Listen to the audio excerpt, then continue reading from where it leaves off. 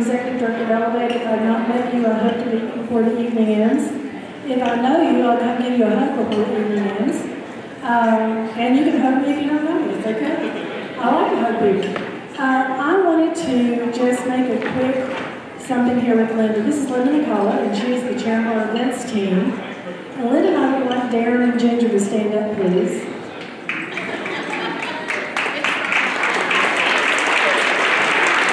Where is the the evening? You're on the wrong side, sir. All right, you guys, you know, you've heard of, of holidays and special days. Yesterday was a special day at the Hall House. It was their anniversary. So on three, we're going to yell out as loud as we can, happy anniversary. One, two, three.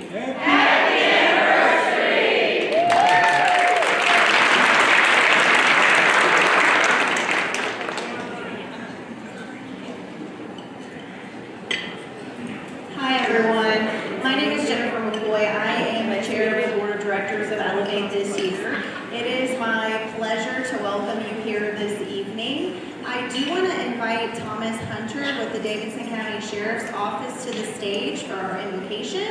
And I would also like to invite Mr. Phil Ponder, who is an acclaimed artist and L'Evate founder, and our very first ever In My Life award recipient. If you two could come to the stage, thank you.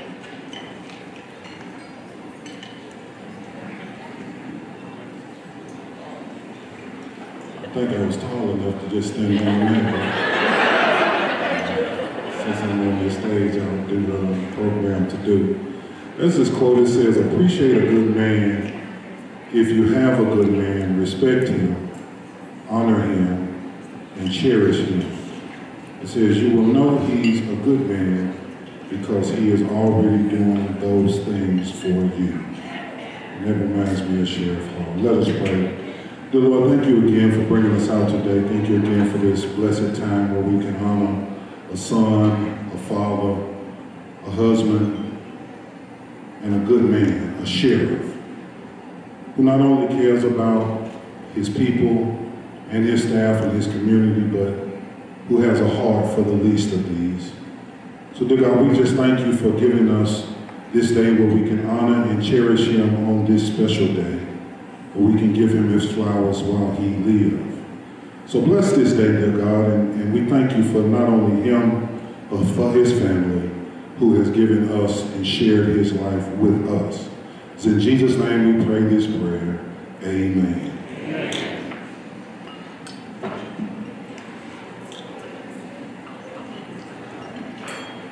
Good evening, Nashville. Before we do the pledge, let me just say a little bit about uh, flag, a little bit of the history of the flag. You know, uh, it's no uh, accident that the colors of the flag are red, white, and blue because of the influence from uh, Europe, France, England. I Actually, had a lot to do with why this country got started. And those colors actually mean something. Red is for courage, white is for purity, blue is for determination. And I think not only that applies to our flag and our country, but it applies to our, our region. So please, will you join me as we salute the greatest nation in the world? Please stand.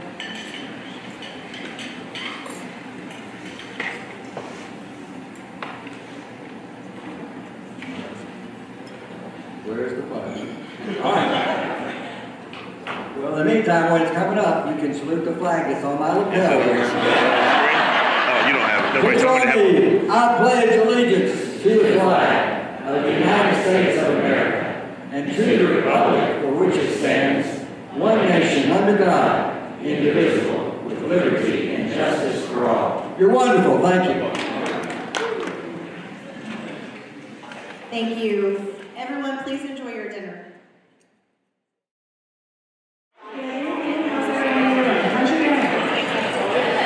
Good. Now, before we get started, I got one more thing I gotta do, and then I'm going to have to too. Right now, I'd like to ask Bill Ponder to come up here. Bill Ponder and Floyd Schechter. Come join me right here. We're not getting on the stage, fellas. We're gonna stand right here. You can stand on this side of me. And you can stand on this side of me. Because I'm hoping we're going to get a picture it. Aww. So do y'all know who this is? These are the first two honorees of in my.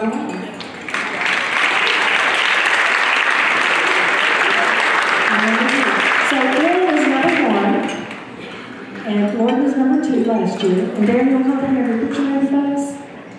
Come on. Is there a photographer back there taking pictures? Right here. Okay.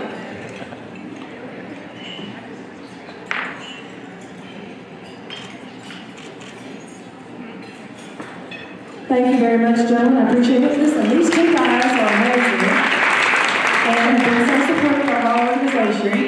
And I just love them both dearly. And the sheriff is in the same boat. So we will get started in just one minute. I'm going to bring Jennifer up here, so don't get too loud because she's not as loud as I am. Could you play? I heard a lot of smart remarks from over here about me not being loud. Anyway, it is my honor to introduce to you our Master of Ceremony for the former Mayor Bill Purcell. Mayor Purcell has been a longtime friend to our community. He's been practicing law for more than 30 years. He's currently with Frost Brown Todd. He was the fifth mayor of metropolitan Nashville Davidson County. And he prides himself on being a creative problem solver, a collaborator, and a person who exudes integrity. I am honored to welcome him to the stage this evening to serve us here. Mayor Purcell?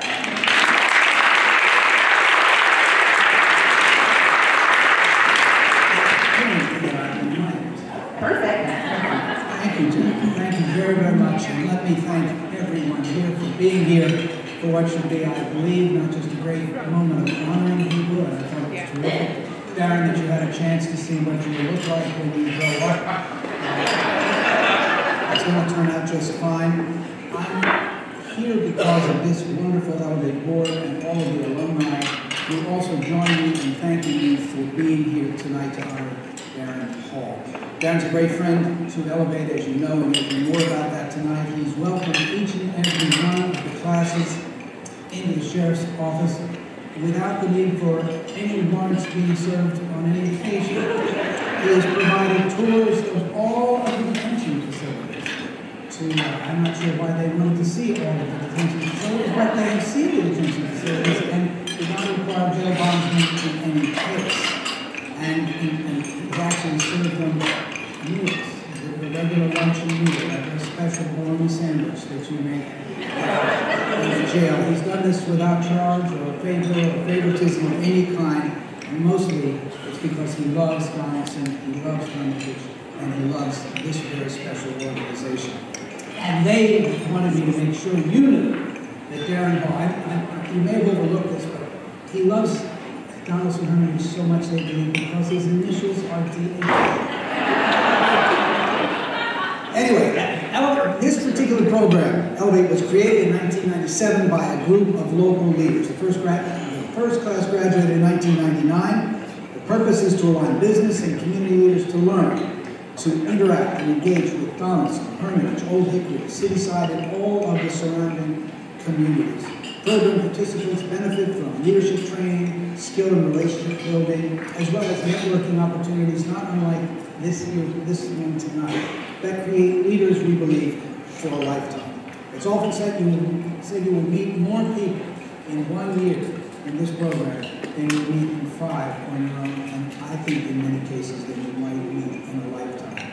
The mission, again, is to enhance leadership abilities, foster opportunities, and improve the quality of life in this whole community. They do this by creating human capital in the community. This leads to better boards for nonprofits, not just this board, but all nonprofits. More volunteers in this community for the community, and more people working to make this a better place to live and raise a family. Now, this is a small and very efficient nonprofit, and it's important to note I'm not a tax lawyer, but I'm told for certain that 100% of every bit of your contribution tonight will be tax deductible, and they will send you something official for that purpose that should, should keep you out of the sheriff's uh, other, uh, should, should protect you in case, in case of audit. And that means that if not now, later, but I think even now, you might be ready to support this organization. There is a QR code on your table.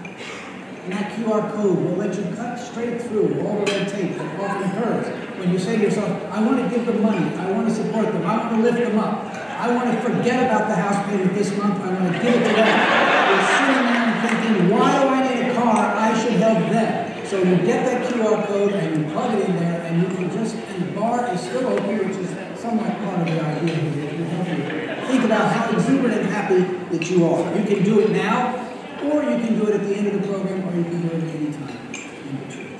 But please consider the importance of this event and this occasion when you, when you consider uh, the, possibility that you would contribute. Now, I have here a list of elected officials, which is very important.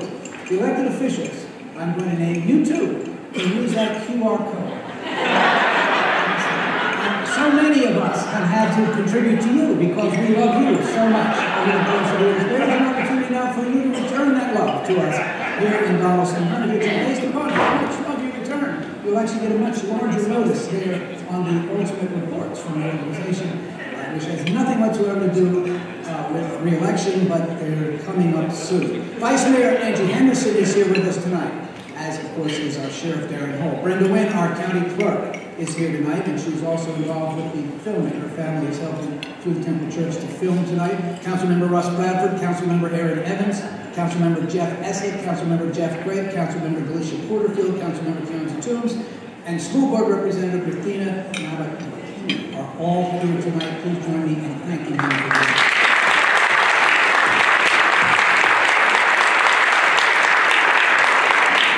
I can formally recognize Daron's family. You've already heard about the important anniversary, but I need to please hold your applause so I get through the end so that there's no sense of more or less importance among the family members.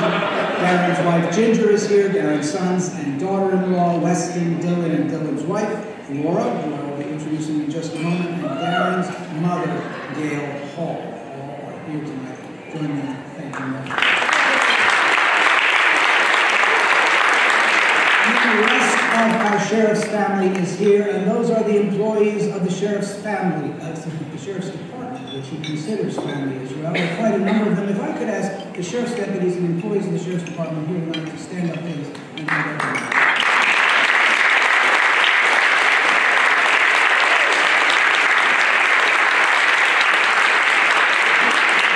They're all great and outstanding public servants, and each and every one of them has a set of you. So let's get this party started. Daron, we need you to come to the stage, please. And now I get to welcome Laura Zapata Hall to talk about family matters. Laura is, and we know this factually, Sheriff Hall's favorite daughter-in-law. She's his only daughter-in-law, but we'll see whether she's still the favorite daughter-in-law after this particular interview is completed. Laura, it's all yours. All right. Hello, everyone. Um, so they put me to the test today. They, um, the, you know, Sheriff Hall called and said, um, "We have a test for you, and we want you to roast me." I think that's how it went, right? um, you know, um, what he said to me was, "Be careful tonight, because I know." He's in law enforcement, but the person who lays down the law is grandmother. So uh, we need to be careful with the questions we ask tonight. But let's get into this. I'm very excited, mostly because you're nervous. Um, so to know you is to know grandmother, and so of course I did the smart thing, and I asked grandmother a couple of questions just to make sure I was on her good side tonight as we get started. And so one of of the questions I asked her was, you know, tell me a little bit about some of the memories, and uh, she said there's only two times that I can remember him getting in trouble. And I wanted to put you to the test of those two times. I think we all know, a lot of us here know one of them well, and so I'd love for you to share that. But the second one, I was surprised by because I had never heard it. So um, go ahead and try to guess, or find yourself out. Give yourself. number one. Number one, of course, we can start with number. Um, so I stole my mother's car when I was 14.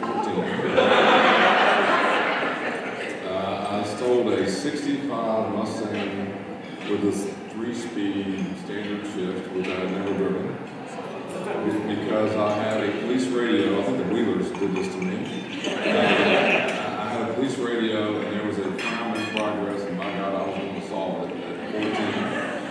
Um, and, and so the weird part of the story is my mother did not know this for 20 years because the police officer actually took me back to my house at 14 because we were not this in 80 or 70. Tell the truth. No, okay, a long time ago. Um, but, but yeah, I was I was naive and nervous and trying to go get involved in this crazy line of work, and, and I stole this car. They parked it back in the driveway, scared me to death, and I promised I would never do it again. I didn't do it again. I didn't even tell my mother for 20 years, but uh, I think that's the worst thing I ever did. She didn't even know it. So, uh,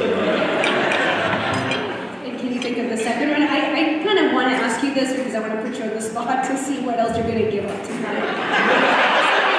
she, she didn't know about it, you know. no, wait, wait. Did she know about this one? Yes, she knows about this one. You may be confessing something tonight. Oh, I didn't make up my bed? Oh.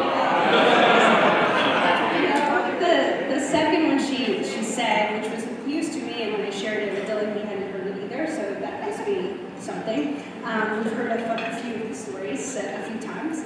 Um, but, but she said that uh, when you were five, you guys were camping um, to Diego Lake, and that you decided to play hide and go seek by yourself, and you were gone for an hour under a picnic table, and really uh, crushed her. And then she found you and you said, well, we're just playing hide and go seek. So there you go. Do you know that story? I didn't know. Since my mom snitched me out, I'm going to tell you that she was beating me and I ran away.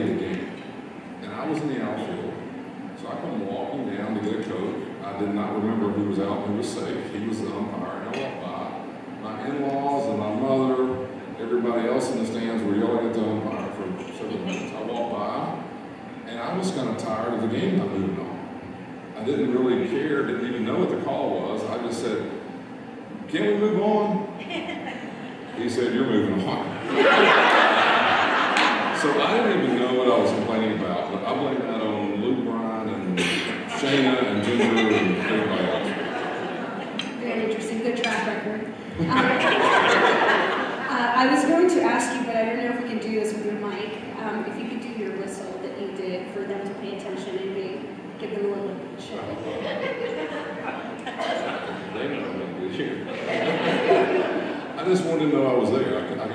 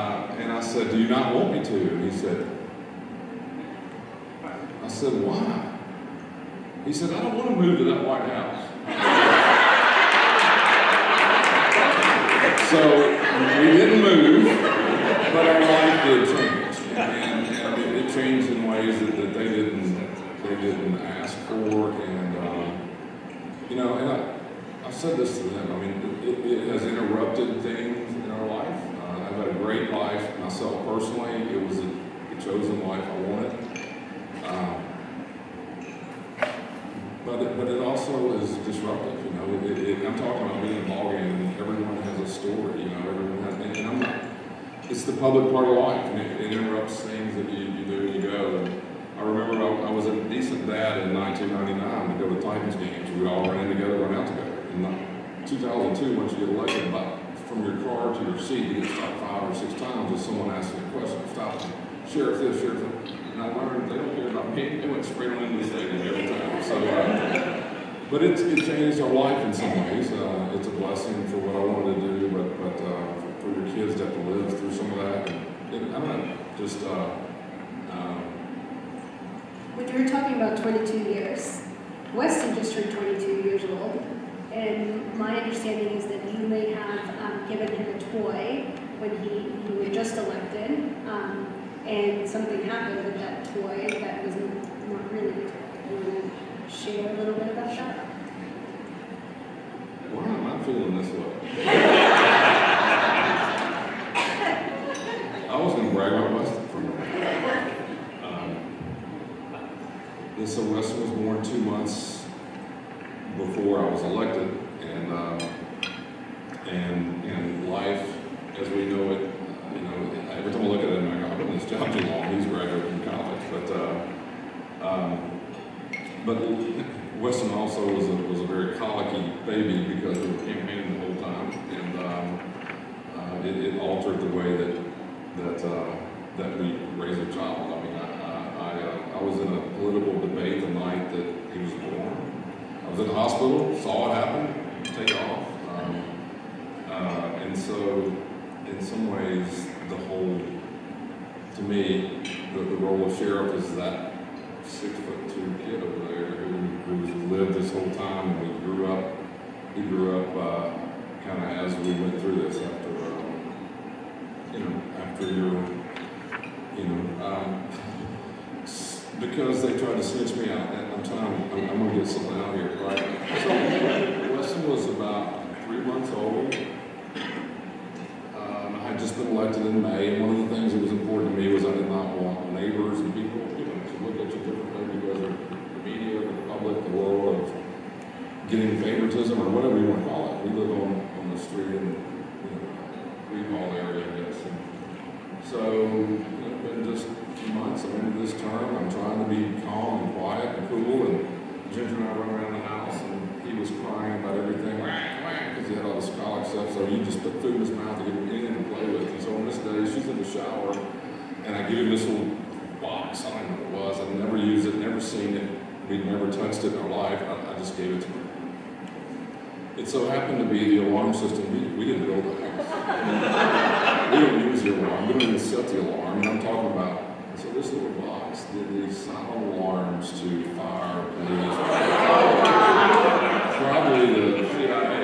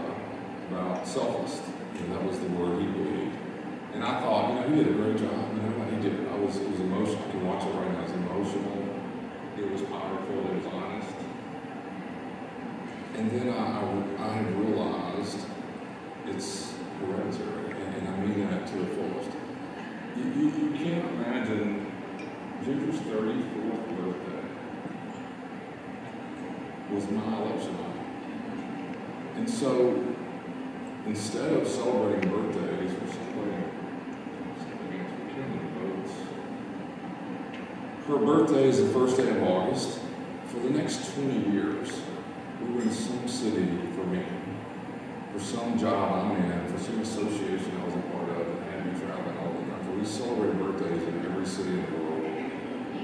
And she has ridden in, the back seat of this car. Um, even tonight, last night was your twenty-fifth anniversary. And I'm saying, tomorrow, we're headed to Donelson. Um, I just, supportive, just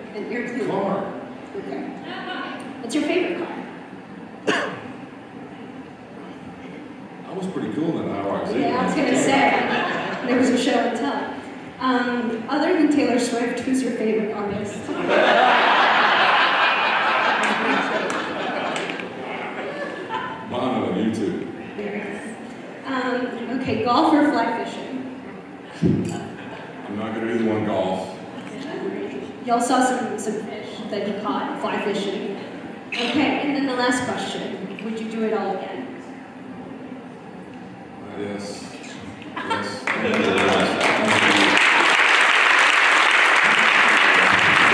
Thank you. Thank you, Laura, that was incredible. The- The softer side of our sheriff, as well as a couple of felonies. We now uh, have a chance to hear from the, from the serious in the family to the sublime and the silly. We have Nick Beres. Nick, you may know, is a journalist. Well, his biography says he's a journalist Channel 5. He's been there since 1995. We've been lucky to have him a long time. He is also, however, uh, a beekeeper, an advocate of dogs and all animals. He has two pet chickens named Thelma and Louise. You should ask him about that. Five rescue dogs. He's a sort of Nashville St. Francis. Nick and Daron have become great friends through the interviews that, uh, that they've done together over the years and have a mutual great sense of humor. Come on up here and talk about the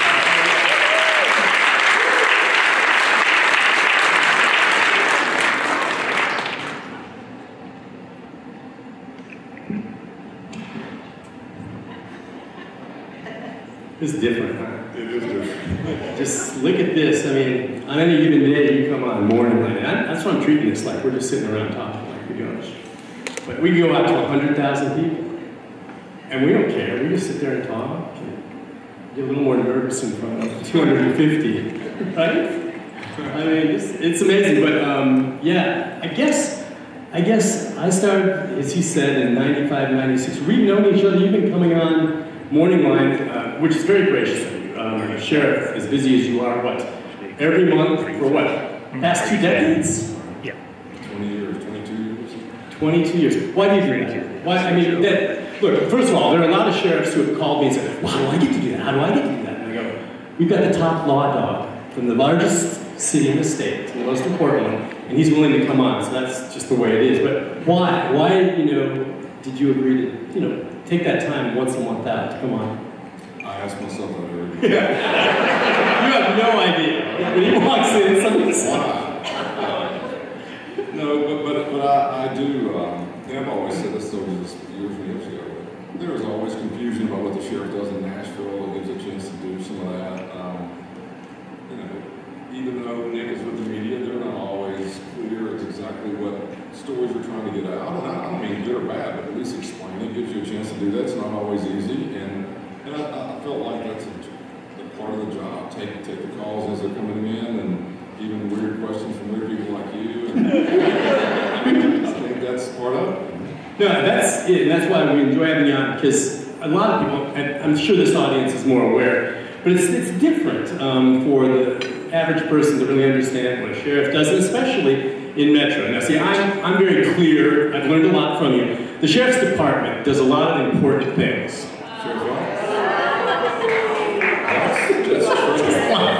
We got a deal. Look, I knew. That is being recorded. I will show that to you. That's something I learned from you. Sheriff's office, sheriff's office. You wouldn't call it police office, would you? And so I owe you what? Every time I did that live on the air, I owe you a dollar.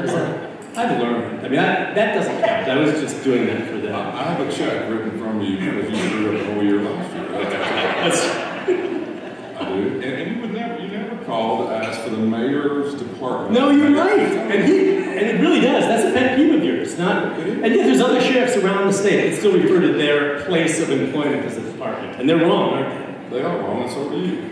I've learned from you. I've learned from you. All right, I, you know, um, okay, do you notice the segment that I'm here is called Arrest the Problem, which is a good phrase of yours, and I think I understand what that refers to. It means something else sometimes when it comes to me.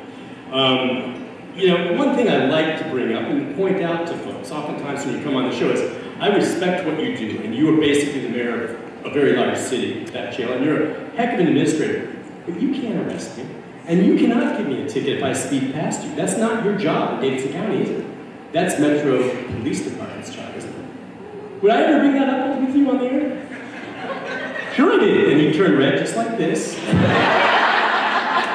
I love doing that. But you really can't. I mean, I could just go speeding right by you and wave and be looking at my cell phone. And you can't do a better thing.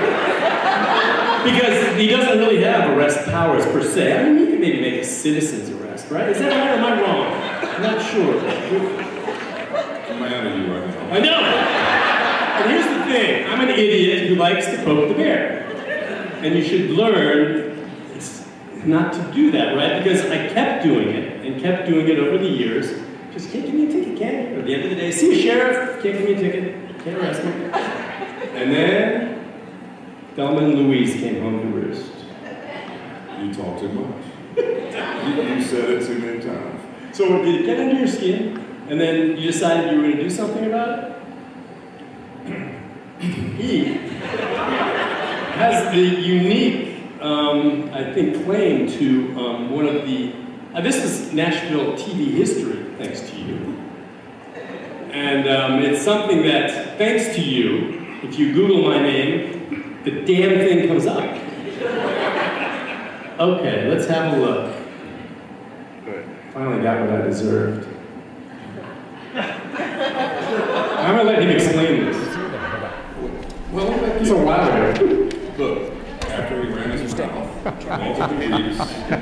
This is, I on the air. No, no, no, I'm not, I'm not, I'm not my lawyer. Yeah, well, Libby, Libby provided that, um, For impersonating Hunter's Castro.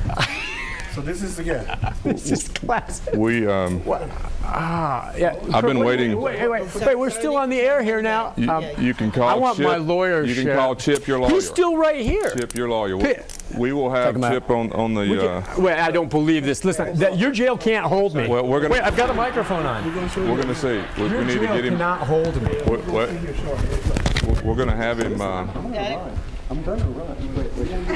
I'm gonna run. It won't be far. It's not gonna hold. No one from Oregon can run. We saw that in the game.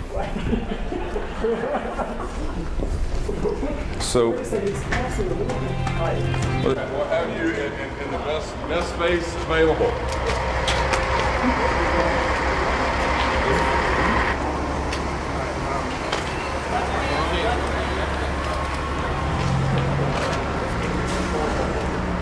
Watch out for smoke. Hold on to him at least. Um, get this, uh,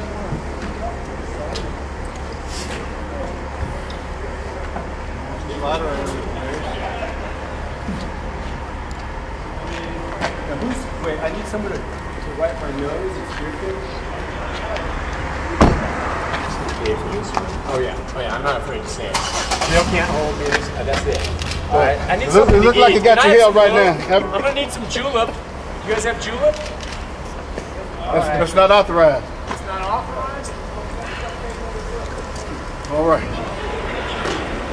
That was classic. Oh boy. Yeah. He got me. How did you come up with that? That's just what I got what I deserve. What he's just smug. So here's the reality of it. His, no one who worked for him would even pay his bond or get him out. no one who worked for him would even speak for him as, do you think we should or shouldn't do this? It was unanimous. So, you know, it was the mandate of the citizens to, to take in this, uh, I guess, impersonating a journalist or a person. But because you wanted to show the footage, what you don't know, and, and, and this is usually often that we don't do this, it's, as you well know, it's probably, uh, statute of limitations have run out, but, uh, we would like for everybody to see maybe what, what the final product looked like, the mug shot that we really never showed.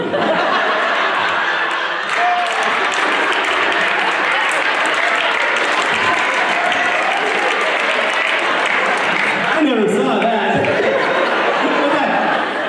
Uh, yeah.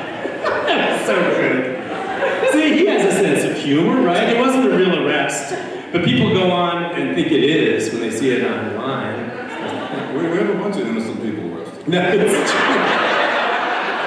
That was a lot of fun. Wow, you got me. I can never top that. You know, This will be now the number one picture in front of your images. Okay, this is not about me, all right? It's about you. So, as you notice, uh, again, things, interesting things that I learned that we try to share with our viewers. Um, and I mentioned while I was in there, I want julep. And I didn't know any of this until, tell me about that. It's so fascinating about how you can brew booze in a toilet. And, and he taught me about that and the, the fruit, and then, and then loaf. If there's a food fight, what happens? Yeah. I just love this stuff. He's the only person in the world that cares about this, but I, I will. Well, no, our viewers eat this up. I spent 22 years talking to him every month about this story. About julep. If you really wanted to, and you were in jail or prison, the term is julep. It is really homemade alcohol. Um, I can give you how to do it. Nick's probably done it at home, but but you basically, you know, people who are incarcerated or addicted, it's a disease. You'll do whatever it takes to make it happen. It's just the reality of it. And um, you can take yeast out of bread. You can put it in water. You can put fruit in the water. You can cook the water. Cooking is not electronically like we would, but there are ways to do that. It's horrendous. It smells bad. It, never tasted it. I assume it tastes bad. Um, but it's been, you know, that's that's the way that people who are incarcerated who are addicted are going to find their way to their, to their substance. Um, uh, I thought, I've been a long time. I thought things had moved on a lot of drug, you know, difficulties. People sneaking drugs in jails and prisons, and so you would have thought that's the big focus. We have a big julep uh, here just a few weeks back, uh, which I find find kind of interesting many years later. But um, one of the things that, that happens in jails and prisons that people wouldn't know is if you're, you know, let's say we, we feed everyone, let's say that you're eating and you're, you're, you're acting normal, that's fine, you to get fed. If you, if you take your food, you throw your food, you throw your trays, and, and you're disruptive, we can't allow that, so we're taking people out of units to put them in what you call segregation, we call it restricted. The realities of that is sometimes we continue to, to throw trays and throw food, and fight, but you're required by law to feed them anyway. And so what you do eventually is you build a loaf. And so what a loaf is, is what you ate tonight, grind it in a blender and hand it to you in a loaf. So whatever the nutri- nutritional or caloric, is that it? Caloric? Caloric. Caloric, uh, the requirement is, still is there, but it's in a loaf. Believe it or not, this knucklehead wanted me to bring him a loaf. I did it. And he ate. Yeah. He, I don't know what was on the menu that day, but what a great, it's cool. It's just a little loaf and it's everything ground up and baked. Awesome. Anyway, it's just interesting tidbits like that.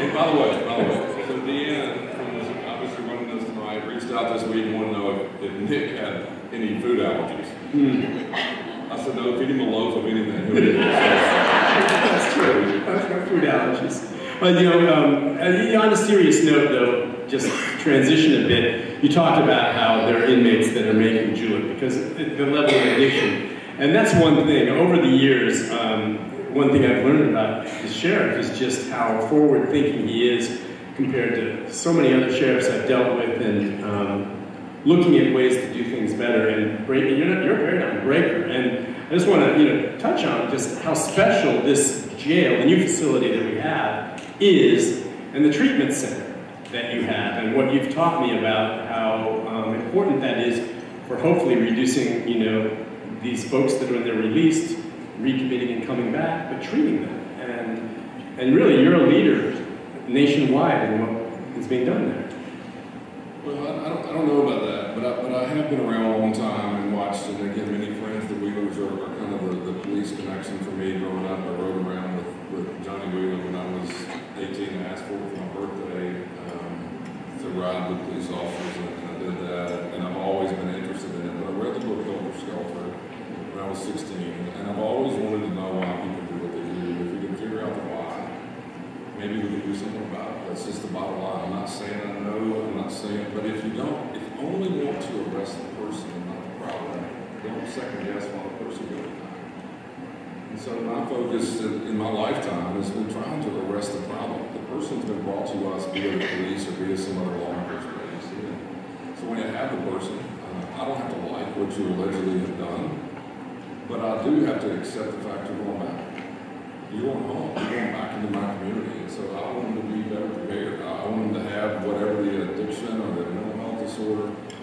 And, and that's hard to do. It's hard to do. Uh, you know, I say this all the time with police in the room and without.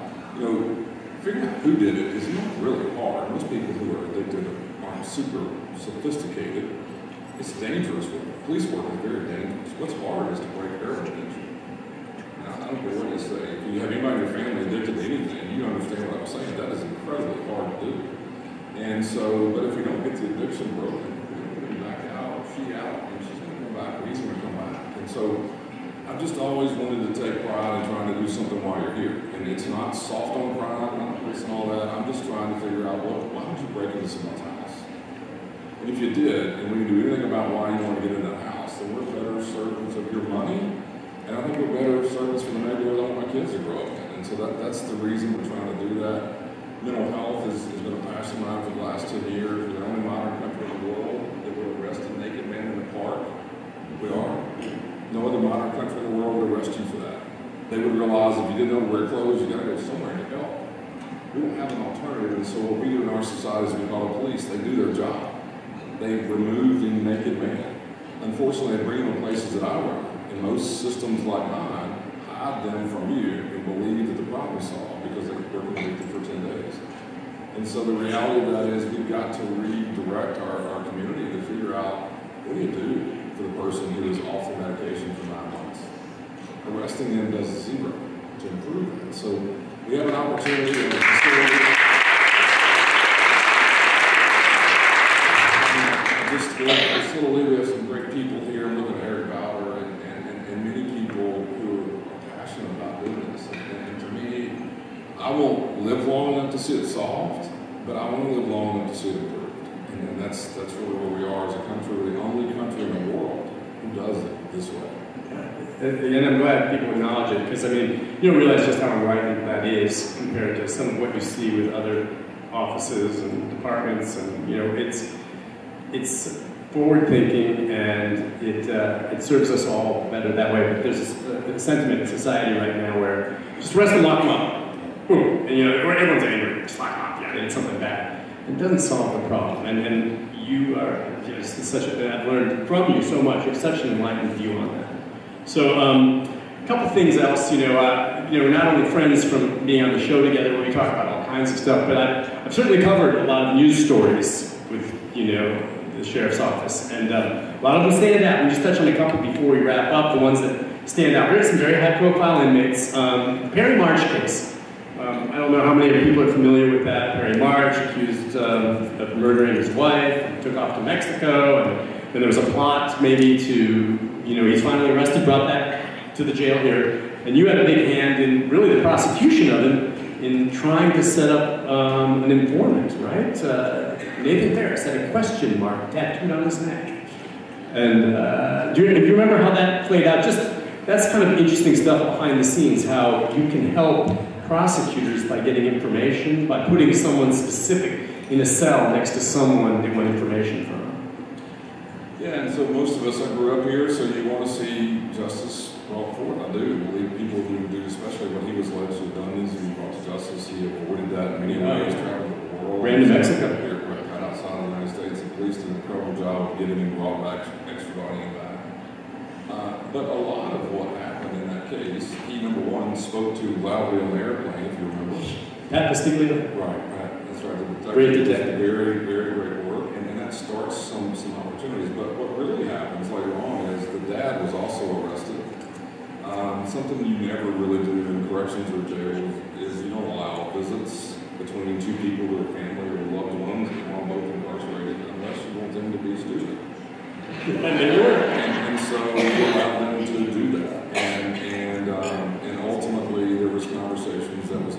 Between the father and son, right? Yeah. and, and that led to information about all sorts of things. And ultimately, the dad turned on the son. I forget all the details of, the case, but uh, I, I shared this with you one day. But I was so angry because some national, I don't know who Nancy Grace is. I don't like her.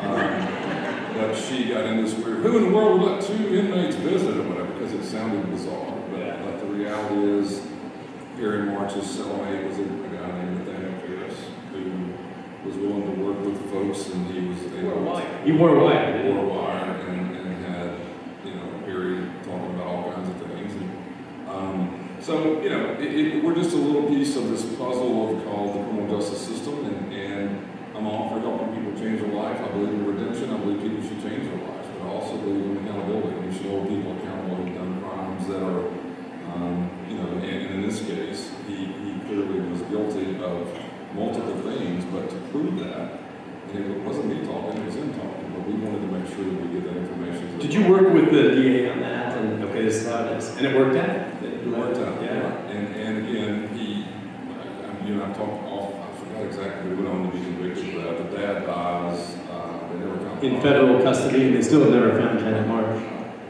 Yeah, yeah, that's amazing. There's so many, so many um, cases, stories. I, and then one of the more recent ones, um, you know, I've seen him in a lot of state, you know, nervous, angry, frustrated. But I've never seen such sustained anger and frustration in you than the Alex Friedman case. Um, and I remember being at those news conferences, and, you know, and you, when we see each other, you know, you'll smile, right? But you were just so focused. And then the trial, I mean, I want to talk just a little bit about that. Maybe, I don't know, I assume everyone here maybe is familiar with that. If not, a little background. He, well, planted weapons in the new jail. Yeah, I mean, I, I uh, to me, it's the most significant, significant event in my professional life. Yeah, think about that. And, and I, I have said this without, I'm not trying to dramatize it for the country, but in what I do, it was 9/11 minus the end. Um, you know, I have a thousand employees. I'm responsible for a whole bunch of people, i.e. inmates throughout the year, and we built the facilities 200 million dollars of real money. And, and we spent seven years designing it in a safe and secure way because that's our job.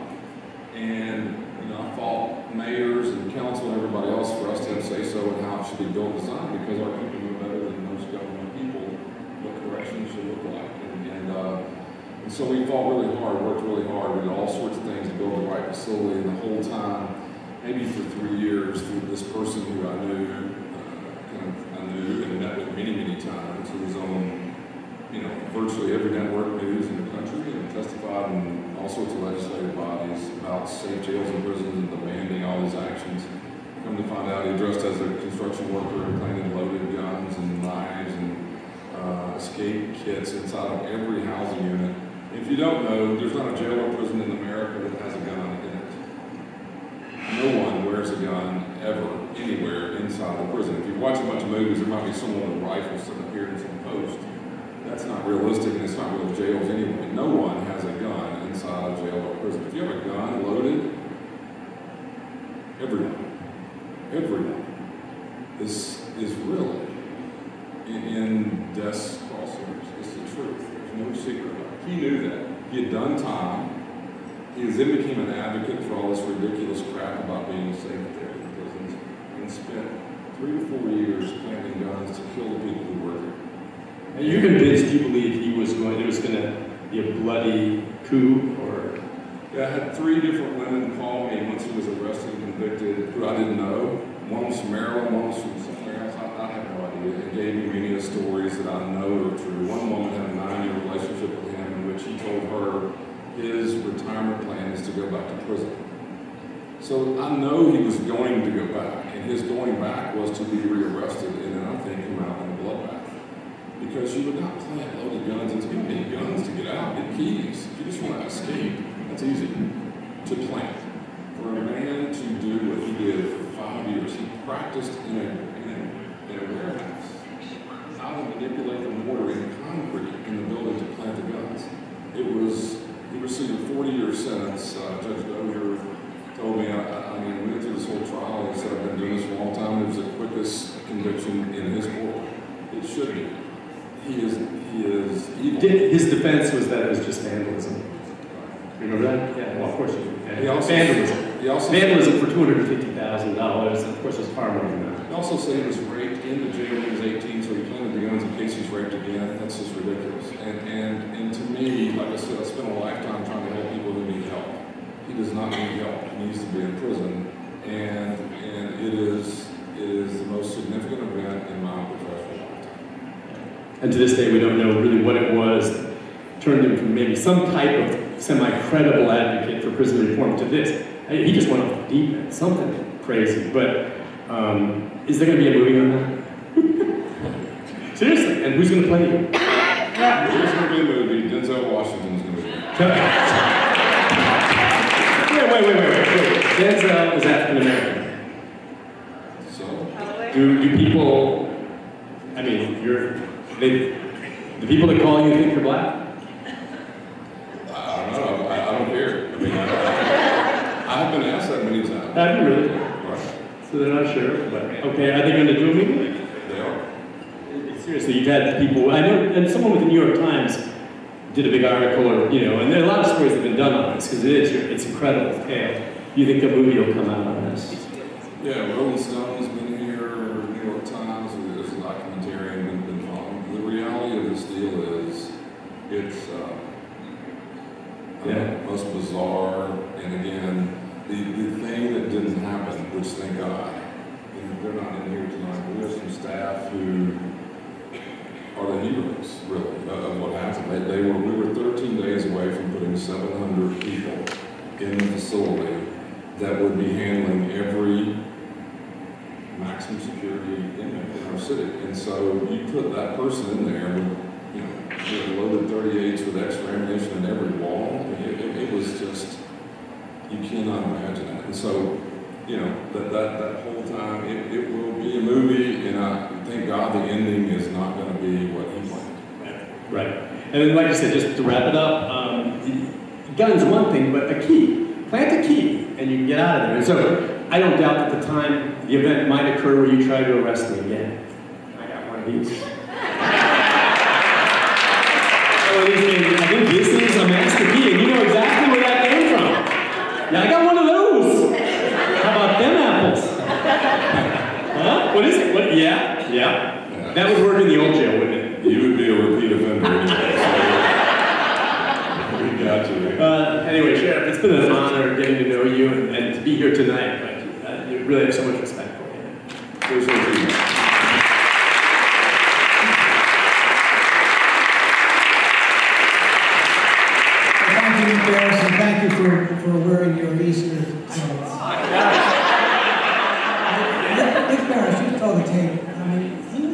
handsome at one time. and we now have uh, Tom Davis, uh, who is our third and final presenter to sort of wrap up, put it all in, in a rather larger perspective. Tom is the Director of Records and Offender Information at the Sheriff's Department.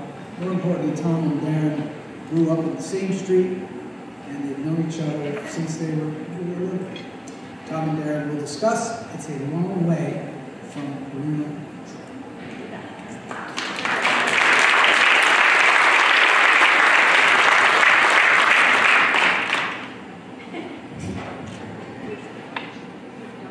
I mean, Barris was so nice to you.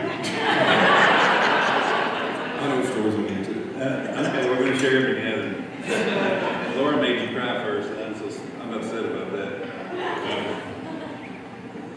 So, like I s- uh, Mayor said, we grew up across the street from each other and on Luna Drive in um, Acretown, Tennessee. And um, Daron was my first friend. I mean, he's the, the, we're a few months apart. Um, tell us a little bit about growing up on Luna Drive. Wow, yeah, so we, uh, Luna Drive's only famous thing was Tom Davis was born on it, and there was an F-16 crash on that street. Uh, Other than that, it was a pretty regular American street, and I thought we was the richest people in, in the world, all of us, because we, our, our, we had, you know, was it 1,100 square foot house, I don't know, and, and all of us had the same house. Uh, Tom had a Catholic family, so his house had a grove. Uh, but, but we, we had an acre lot everybody had the same house, and every day we always ran around. We were all the kids were all in similar value systems. Parents, it was sounds silly. It was as close to Leave It to Beaver as as I could imagine, and, and uh, I don't know, just just uh, I don't see that anymore. You know. This is where I go into what happens in Vegas mode. so Gail over here was the she was a neighborhood mom. Like she was the mom for everybody in the neighborhood. And so what do you do to get everybody to come to your house? You build a pool. Gail built a pool in our neighborhood. It was magical. Oh my God. Like nobody else had a pool that I knew in, in junior high or any place like that. Um, so we, we did a lot of swimming. Um, so have you ever slept in a pool? I can't fire you. You know what think about it? We, we still have it. So, so we had this pool, and if you're whatever age, uh, swam all the time. His dad was like over a pool somewhere in another part of town. We'd go over there and swim all the time and do all this swimming. And so we thought, well, what about 24 hours in the pool? Why don't we just camp out in the water? In a raft. We were in a raft with a towel over us. Yeah, we were in two different rafts, weren't we? Yeah, Good point. Clarification. I'm okay with all that, I'm just trying to make sure your raft's taken. That ain't enough for this. We were over in the water. But yeah, we were gonna camp out in this blow-up rafts, and you get down in there, and you're gonna pull a towel over and of make roof over your part in, in this raft, and so, and this, this wasn't a huge pool, by the way, so. Wasn't a huge raft either. And so we took off at midnight or one or two in the morning and camp out in the pool. That was the thing. And about, oh, what time it was? The monsoon came. Monsoon. So we had more water in my raft than I did in the pool within the next two hours, pouring down and it was soaked. And here Tom and I are scurrying into the house to get away from the, the water that we were sleeping on top of. And we used to ride our bikes when you could ride your bikes around to places and, and then a little bit of foreshadowing. We would ride our bike down Lawland Drive, down to Mill Creek Pond, to, to Mill Creek where what stands right now. Our facilities. We would ride down and go fishing right exactly where the jails are right now. Um, and we, we had no idea. It was a scary, um, insane place that we would go by.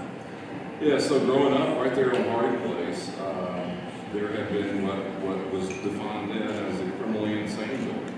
Uh, that was the term everyone used. It was officially that, that name. It was right on Harding Place. And so Tom and I could see it from our, basically, neighborhood. And, you know, we get on the bikes and take off and ride and go run around the creek and everything. And now that's where we work. It's, it's where the facilities are. It's the area of town. And uh, uh, spent many a days fearing that place when I was a kid. you know. So most of y'all, y'all know Daron, he's a food connoisseur. we talked about that a little bit earlier. Um, so, chicken fingers, uh, well, before chicken fingers, it was spaghetti. So one, there was one time during Thanksgiving, I had my Thanksgiving dinner, and I, I come across the street, as cold as it could be outside, and there's Gail outside with a grill cooking a hamburger on Thanksgiving for Daron. That so weird. And I oh, that is so cool. I just had something called giblets house. Uh, and I wanted to be you that time. I wanted a hamburger and hot dog. Cranberry sauce was not my thing. So, some of these are funny, some are pretty sad, but there's one of them that's pretty pathetic right here. And I'm telling on myself too. Did you ever go to a lot when you were a youngster? You- Did you go with me a lot? Yeah. What was our favorite thing to do? There may be some victims out here. Oh, there's some victims out here for a lot of things, and, and we're going to apologize later. So you can tell it or you tell? Uh, I'd rather you tell them lie. So these two studly 13, 14 year olds would go to Opryland to pick up chicks, you know? Um, so we had such bravado that we would get on the Skyliner, you know, the thing that went like that. And so as the girls came by this way, and we're going this way, we're going, hey, how you doing? Wait for us on the other side down there, we'll be down there. They never showed up. They never waited, did they? No. I think a couple of times maybe they did, and I think we got off and we go, oh my God, what do we do? and we snuck around the other way. there were not a lot of digits gotten when we did that. But that was fun. It was fun trying. We were we were studs for a minute. Hope there's no PETA people in here right now, and there I hope they don't vote because. uh, we talked about your granddaddy's lake house, right? And we used to go there. We had lots of good times. A lot of people in here have been to that place. There's a lot of good memories that we can't talk about. But that was the place where you taught me how to toss a frog. Do you remember the frog tossing? There's, plausible deniability in this. You're not supposed to remember it. I'd never tossed a frog before, but we would toss them up in the air and they would land upside down and they would get unconscious and then, but they woke up. And, and there's this wrought iron bench right here, so we pick them up unconscious and land on there, when they'd wake up, they'd run to the top, and whoever got to the top first won. It was busy progress. I don't know who taught you how to do that, but that was, that was a lot of fun. Sorry, PETA people. Everybody else was beating. Yeah, everybody else was and we let them live. That's right. We, we didn't like frog legs, did we? So, do you ever remember going to the Nashville uh, Fairground Speedway? Yes.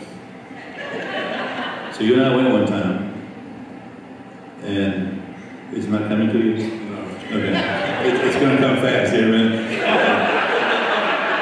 So we're, we're, we're coming out of the National Speedway, and we're waiting for a Gail to come pick us up, and miraculously there was a banner that had blown off um, these two posts, and it was just laying here. And uh, so we decided to roll it up, and we got in the car and went home with it. And, ding, ding, ding. So, um, take it home and then he, it, it was in their car, so I, I come over like the next day or the next day after that, and he's got it rolled out. I think it was about 12 feet long and about three feet tall. And he's got it on his driveway, and he's got two cans of paint. One is black, one is red. And what did you paint on there?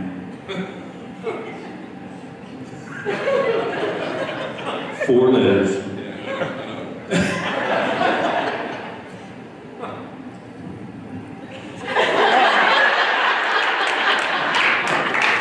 I'm, I'm two years from my pension, by the way. I'm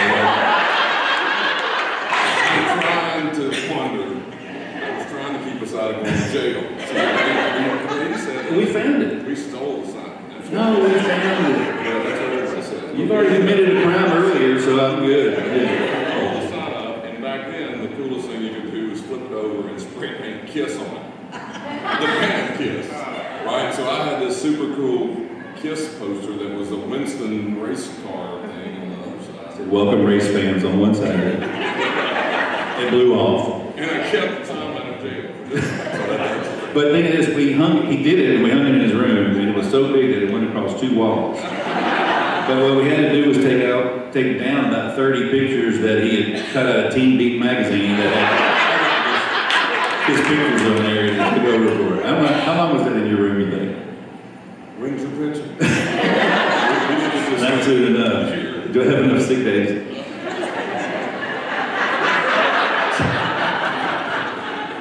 Okay. Have you, it's supposed to be a question form. I wrote a 20 minute dissertation on this, but then they said it was going to be a question form. So here you go. Have you ever been to Vanderbilt basketball camp? Yeah. Who did you go with? Well, I went one time with you. I would never go back with you again. So we were roomies. We were roomies, and they put us in a dorm room in Carmichael Tower where the athletes stayed with a telephone. Because Tom Davis's dad was a basketball coach in high school. He was a cool dude, so he took care of his son, and I got to ride out. I'm going in the dorm Tom. We're going to be at this camp. Yeah, and my dad knew all the coaches at Vanderbilt, so we were kind of well known, right? And I was, you were riding my coattails, man. And I regret every bit of that. so what, what we decided to do was, um, because it was kind of early and we were bored, we, we called every girl that we knew that would answer the phone. Oh, wait, we were 10. Well, no, we were about 12 or 13. It was a short list. we thought it was a long list. But we called everybody, every girl we knew that, would answer the phone, and then it got too late. Um, and then we thought this would be funny. So we, you said some of these people may be affected, they may have been affected by this. So we started calling every, probably half of Nashville, asking if their refrigerators were running. If I remember getting that call, it was us. Statute of limitations over. And then it got a little late for that, so we started calling all the businesses in town that we could. We made a phone book in our room too. And what we asked them,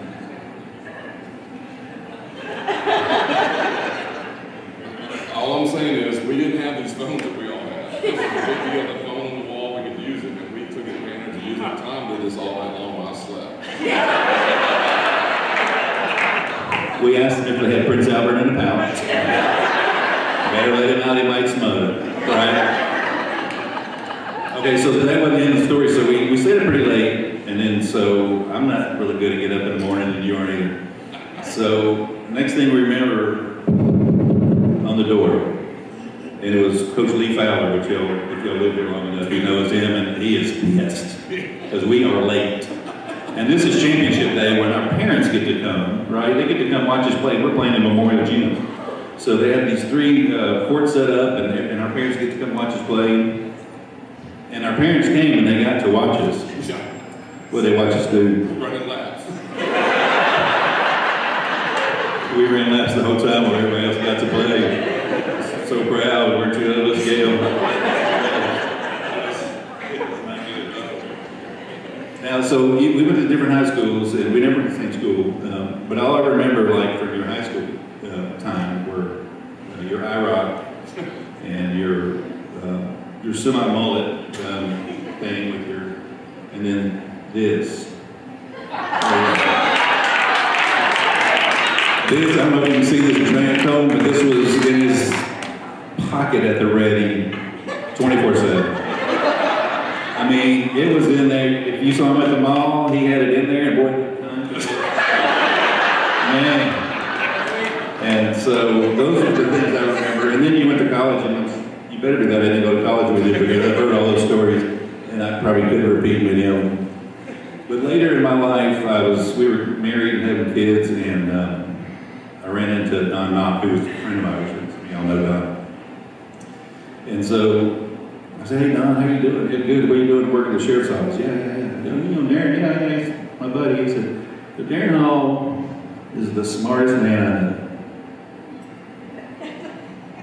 I said, Don, how many people do you know?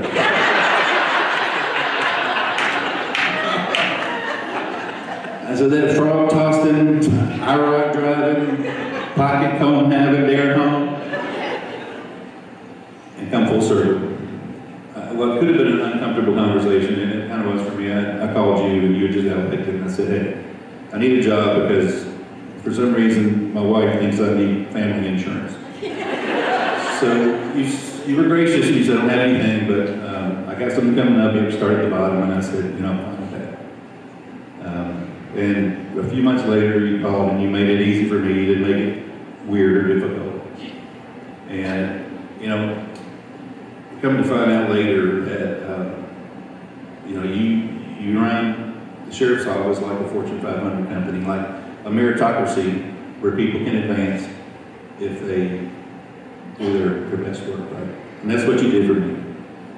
And so, come to find out that Don was right, and he, you're forward thinking, you're, you always want the best, you never stop uh, until you get what you need for everybody. Um, I had some health issues recently, and you called me. You have a thousand employees, 3,000 inmates, a family, and you called me, you come to see me, you texted me, and kind of got on my nerves with what you texted me, but, um, but you were always there for me, and, and I appreciate that.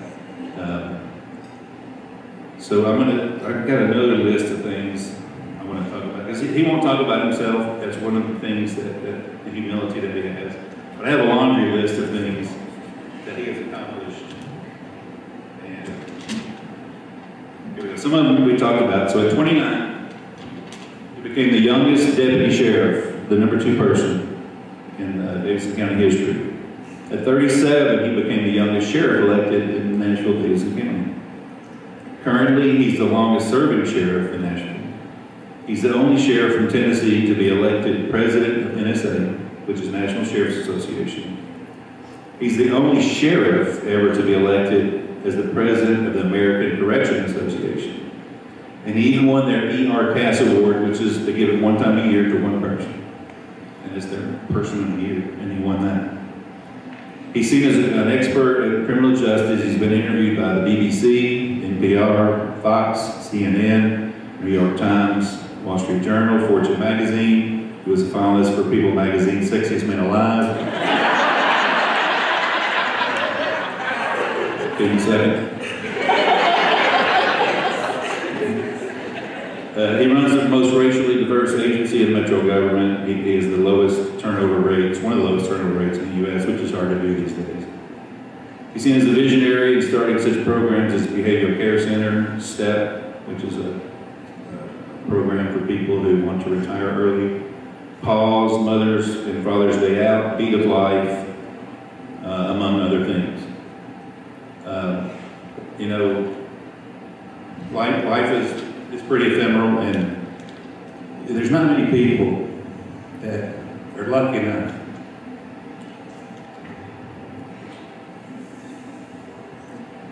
See, I told you I wanted to make you cry, and you did it first. They're lucky enough to have someone in their life like full circle, you know, as a friend, as a mentor, as a boss, and and I'm lucky to have that.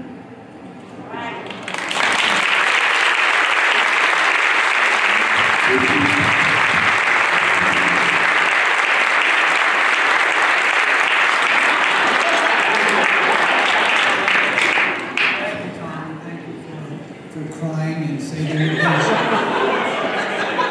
So let's now welcome back Jennifer McCoy, the L'Evate Board Chair, along with L'Evate Executive Director Deanne Buck.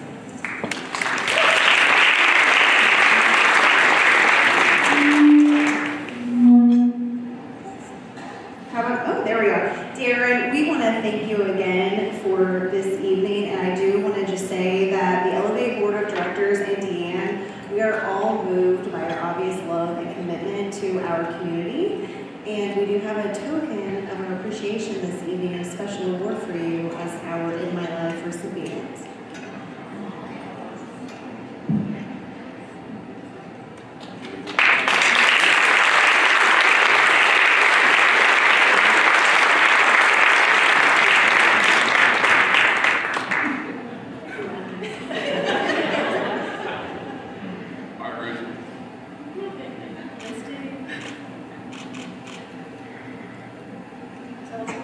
Yep, you're good.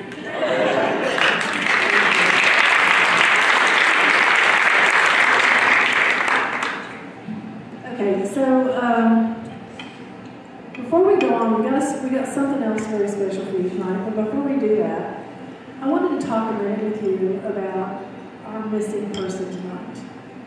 So Miss Phyllis Williams is not able to be with us tonight. She's up in heaven with the biggest smile on her face. She is so happy right now. And we miss her terribly, and she should have been here. And so, Daron, I just wanted to offer you an opportunity to say whatever you'd like to say. Yes. Yeah, so uh, 22 years ago, I, I grew up in a little town called Bakertown across the interstate from Donelson. We live in a neighborhood really, so I always kind of claim Donelson in a lot of ways. But um, when you take off on the journey, as the mayor knows and others have been elected, you, you run all of this really large county. And so uh, I met this unique woman named Phyllis Williams back now 23, 24 years ago. Um, I remember going home and telling Ginger, I said, this is the hardest woman to relate ever met in my life. Because I, I just think she was such an important person, just just a really nice human being. And politically, she was very entrenched in what was important for her.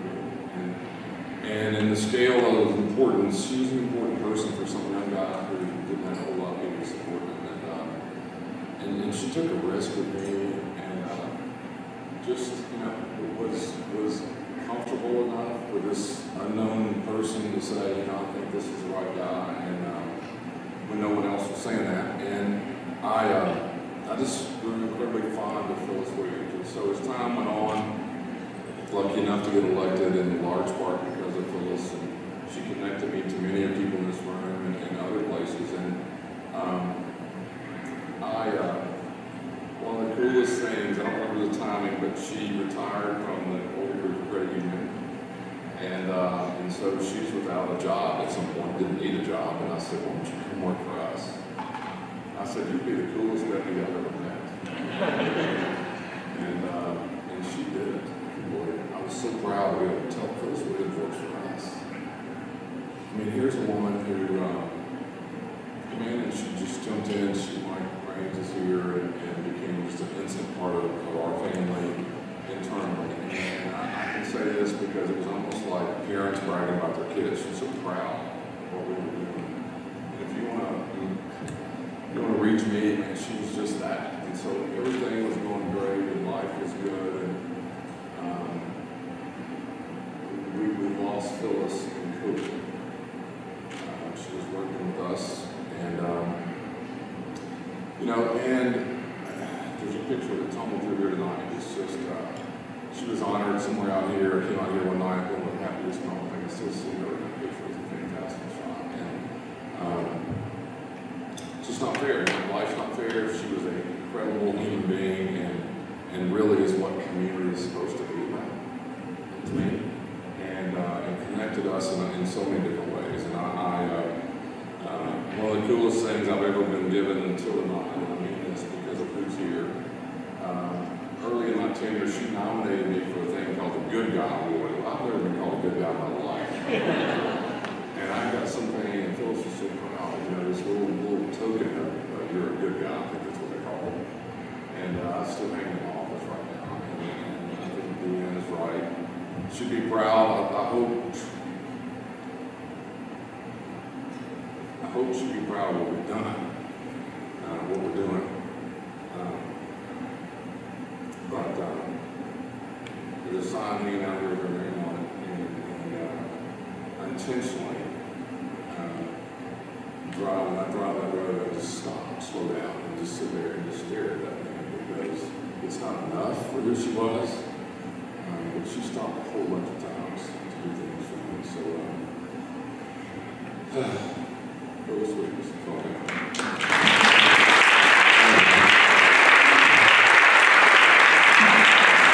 Uh, we have uh, some Metro Council people here who'd like to talk to you. A whole bunch of them. Is it budget season? Well, that's my have something to do with this.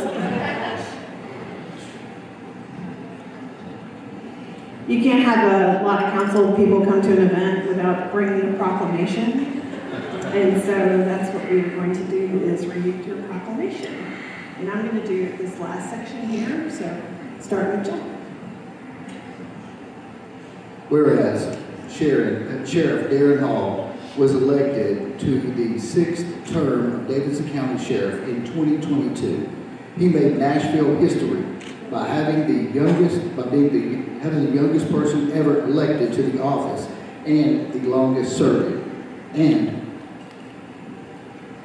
Whereas Sheriff Hall has made arresting the problem, not the person, a major focus, he designed and implemented the first of its kind Behavioral Care Center, which is a diversion program aimed at decriminalizing mental illness and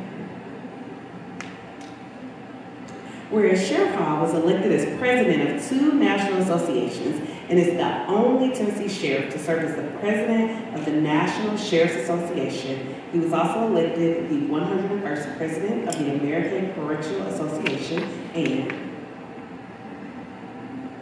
Whereas Sheriff Hall has won numerous awards, including the prestigious E.R. Cass Award, the highest honor given in the corrections profession, and after 35 years of criminal justice experience, he is considered an expert in the field. Whereas He has been interviewed by national and international media outlets, including the Wall Street Journal, the British Broadcasting Corporation, aka the BBC, NPR, National Public Radio, the New York Times, Fox News, CNN, and Fortune magazine, and Whereas Sheriff Hall is the honoree for the 2024 In My Life event hosted by L'Evate, a leadership community, on March 28th, 2024, and Now therefore, I, Erin Evans, District 12 Council Member of the Metropolitan Government of Nashville and Davidson County, and also the Public Health and Safety Chair, do hereby honor and recognize Sheriff Daron Hall for his outstanding achievements, relentless passion for criminal justice, and his invaluable contributions to Nashville and Davidson County.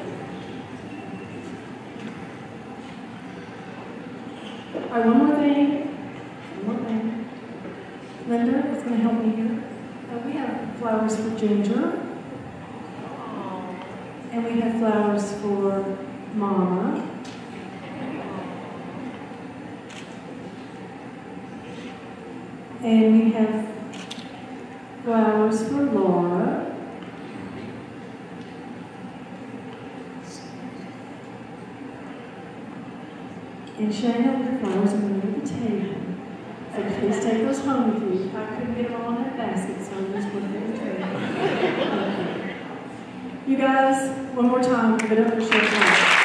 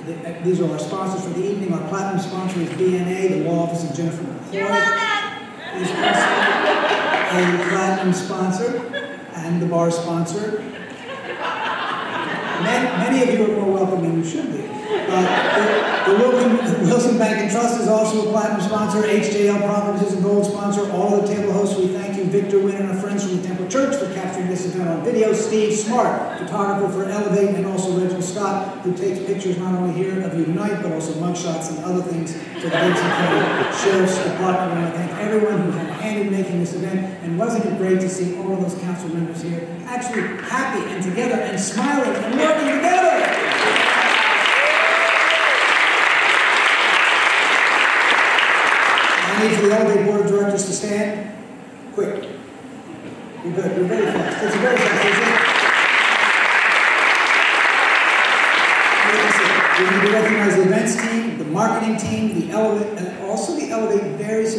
alumni base, and we're all the alumni, and the current class members know where please stay.